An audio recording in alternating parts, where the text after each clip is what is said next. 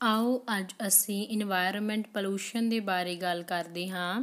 Environment ਜਿੱਥੇ people animal ਤੇ plants ਰਹਿੰਦੇ ਨੇ ਤੇ ਅਸੀਂ ਆਪਣੇ 에ਅਰ ਲੈਂਡ ਐਂਡ ਵਾਟਰ ਨੂੰ ਸਮੋਕ ਕੈਮੀਕਲ ਤੇ ਵੇਸਟ ਮਟੀਰੀਅਲ ਦੇ ਦੁਆਰਾ ਨੁਕਸਾਨ ਪਹੁੰਚਾ ਰਹੇ ਹਾਂ।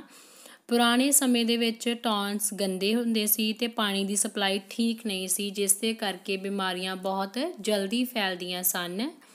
ਪਰ ਪ੍ਰੈਜ਼ੈਂਟ ਡੇ ਲੋਕ ਜਿਹੜੇ ਆ, ਉਹ ਗਰੀਡੀ ਹੋ ਚੁੱਕੇ ਆ, ਸੈਲਫਿਸ਼ ਹੋ ਗਏ ਆ। ਲੋਕ ਮਤਲਬੀ ਨੇ, ਲਾਲਚੀ ਨੇ, ਜਿਸ ਦੇ ਕਰਕੇ ਸਾਡਾ ਵਾਤਾਵਰਣ ਦੂਸ਼ਿਤ ਹੋ ਰਿਹਾ ਹੈ। ਫੈਕਟਰੀਜ਼ ਦੀਆਂ ਚਿਮਨੀਜ਼ ਤੋਂ ਜੋ ਵੀ ਧੂੰਆਂ ਆਉਂਦਾ ਹੈ, ਗੰਦਾ ਧੂੰਆਂ, ਇਹ ਸਾਡੀ 에ਅਰ ਨੂੰ ਦੂਸ਼ਿਤ ਕਰਦਾ, ਸਾਡੀ ਹਵਾ ਨੂੰ ਦੂਸ਼ਿਤ ਕਰਦਾ ਹੈ, ਜਿਸ ਦੇ ਕਰਕੇ ਸਾਨੂੰ ਬਹੁਤ ਸਾਰੀਆਂ ਬਿਮਾਰੀਆਂ ਦਾ ਸਾਹਮਣਾ ਕਰਨਾ ਪੈਂਦਾ ਹੈ।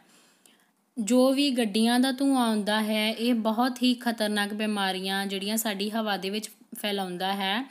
ਲਵ ਕੈਨਲ ਉਹ ਡਿਸਾਸਟਰ ਆ, ਉਹ ਏਰੀਆ ਆ ਜਿਹੜਾ ਕਿ ਬਹੁਤ ਖਤਰਨਾਕ ਸੀਗਾ ਤੇ ਕਿਸੇ ਕੈਮੀਕਲ ਦੇ ਕਰਕੇ ਇਹਦੇ ਵਿੱਚ ਲੀਕਿੰਗ ਦੀ ਪ੍ਰੋਬਲਮ ਸੀਗੀ ਤੇ ਹਜ਼ਾਰਾਂ ਹੀ ਡਾਲਰ ਮਿਲੀਅਨ ਡਾਲਰ ਸਪੈਂਡ ਕੀਤੇ ਸੀਗੇ ਇਸ ਨੂੰ ਸਟਾਪ ਕਰਨ ਲਈ।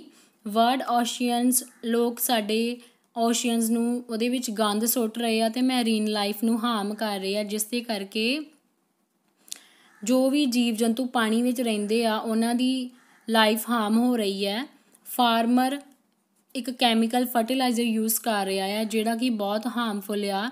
ਤੇ ਐਨੀਮਲਸ ਇਹਨੂੰ ਖਾ ਕੇ ਬਹੁਤ ਹੀ ਡੇਂਜਰਸ ਡਿਸੀਜ਼ ਤੋਂ ਡਿਸੀਜ਼ਸ ਦਾ ਸਾਹਮਣਾ ਕਰਦੇ ਨੇ।